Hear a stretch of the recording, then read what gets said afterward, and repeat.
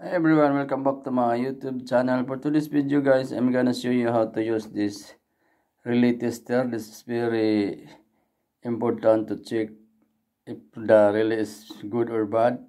So this is capable for 12 volts and 24 volts. Okay, so what you're gonna do is insert the two battery at the back.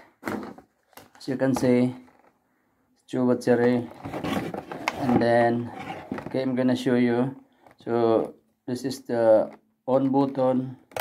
Okay as you can see on the screen. Okay it's okay five pins.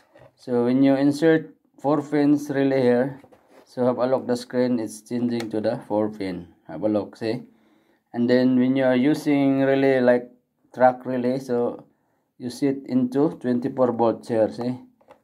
If you if you uh, check the 12 volts like a car really?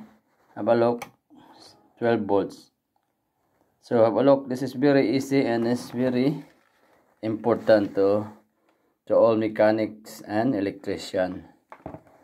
It's okay everyone okay? So this is very important. So if you want to buy this like this uh relay tester online. So have a look this this is the model.